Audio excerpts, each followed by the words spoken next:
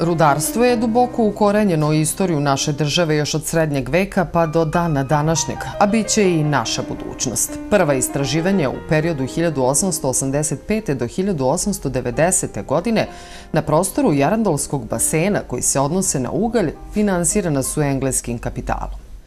Istražne radove izvodila firma The Silver Mining, koja usled finansijskih teškoća 1890. godine napustila ovaj teren – možemo slobodno reći da je definitivno još se nije našo zamenski, zamenski ovaj, energent kao što je ugalj i nadam se da će to još da traje.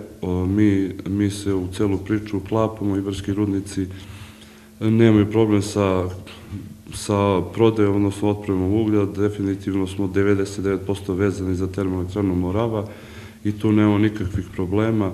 Tako smo napravili interdisciplinarni tim koji je od septembra 2023. godine nadalje do skoro radio na ovoj temi. Tako da je ona razmatrana s aspekta istorije, istorijata, s aspekta života rudara, gde smo pravili i fotografije, a i snimljenje film. Pa najponosniji smo na listu za platu iz 1928. gde se vidi da Rudar je imao platu otprilike 365 dinara, da je imao 11 dinara poreza za blagajničku kasu 4 dinara i 7 dinara poreza, to je onako neka ekskluziva, znači lista za platu.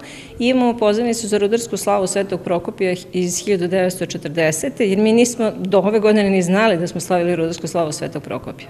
I često sam slušao njihove priče priče, anegdote u radu na iskopu crnog zlata i zarada za hleb sa sedam kora.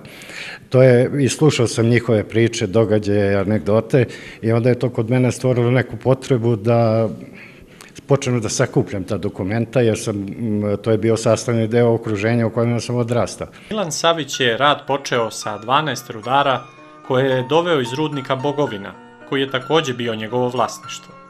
Oni su prvi upalili karabitne lampe i suočili se sa jarandolskim ugljem, razvijanjem rudnika, povećanje broj rudara.